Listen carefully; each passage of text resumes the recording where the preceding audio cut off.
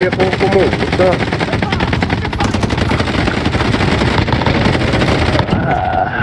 Yeah, that's i'm big. That's some overkill, yo.